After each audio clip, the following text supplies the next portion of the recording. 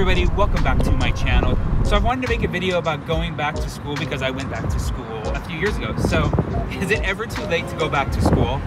Uh, the answer is Hell no, it's not too late. I went back to school four years ago. Along my path, I have changed my degree. I wasn't exactly sure what path I wanted to follow, and it took me a little bit of stumbling to find out the path that I wanted to, to uh, follow to get there. Can you stop with your fingers? We'll uh, get a little bit more into that in a bit, but first, we are shopping for hot pot. Find the pot, make it hot, hot, hot. Are you done? How do you do hot pot? You find a pot, you make it hot. So I forgot to film inside the store. The grocery store that we go to is called H Mart. It's a Korean grocery store. They're kind of like all over the United States. But um, anyway, we were on a 15 minute timer where we parked, so I kind of got stressed out and I forgot to film. And, and anyway, I'll show you what we got when we got back home. What does H stand? Stands for Hungry Person's Market.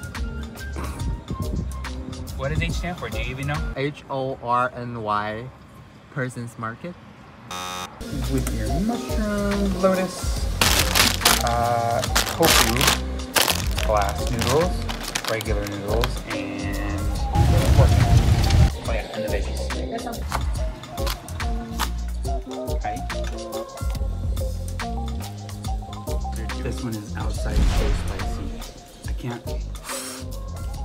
I, I can't even like.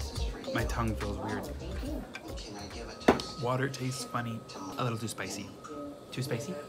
No, it's fine. Through the smoke.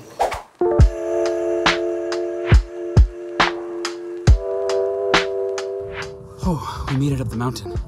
I uh, decided to do Runyon today just to get a little bit of exercise in. Runyon is like one of the more popular hikes around here in LA, and it's been closed because of uh, COVID for the past year. At least half of it was. So half of the trail is kind of challenging and it's really kind of uphill and rocky, and the other half is like this sort of paved road that's a lot easier. They kept the paved road open, but they didn't keep the uh, the more difficult one open. Anyway, so they've reopened everything. They took all the fences away, and it's open for everyone to enjoy again. So we decided to do it.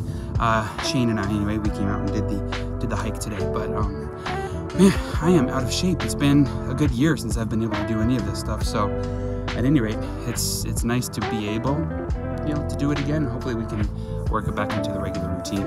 It's a really cloudy day today in LA, so that's like the ocean. On a clear day, you can see that. And then you've got uh, you've got downtown Los Angeles over there in the distance. You can kind of see through the haze, and even from here, you can see. See if I can get a little closer. Even here, you can see there's the Hollywood sign, and uh, again, it's really hazy today, so not a good view, but yeah, it's still a nice day. So back to the topic of going back to school. I know I said I've been in school for four years already, and that was because I didn't really know what I wanted to do. Okay, so I feel like I need to backtrack just a little bit. So after I graduated high school, I, I did go to college. I went for just a little bit, and it really wasn't for me. And a lot of that has to do with, I think, the way that I experienced high school, which I'll make in another video. So shortly after high school, I actually went to beauty school, and I followed in my mom's footsteps. She was a hairstylist, and I became a hairstylist uh, soon after. Uh, not soon after her, but you know, soon after uh, high school. All of my focus was was in in beauty and hair because it was something that really it really was a passion of mine. But always in the back of my head, there was just this burning desire to sort of finish something that I had started, and that something that I had started was I really wanted to finish a degree. I knew it had to be something in the creative field.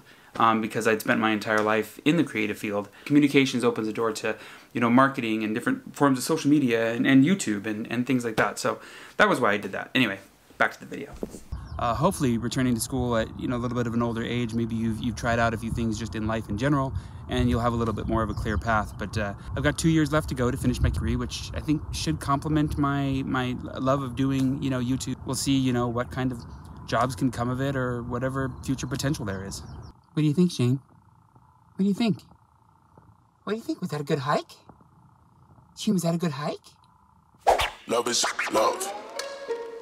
Love is love. Adi- So I forgot that I I got some clothes that I bought from China that got shipped over, and uh, yeah, give me I bought these clothes. Quite quiet down over there. These clothes. So I'm just gonna try them on real quick and see what they're like. Um, not these. These aren't mine. These are garbage. Here, these are garbage.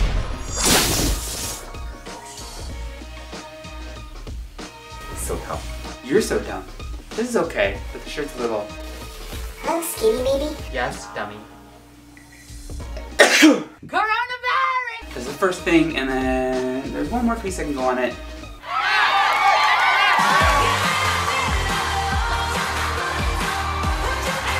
This I like.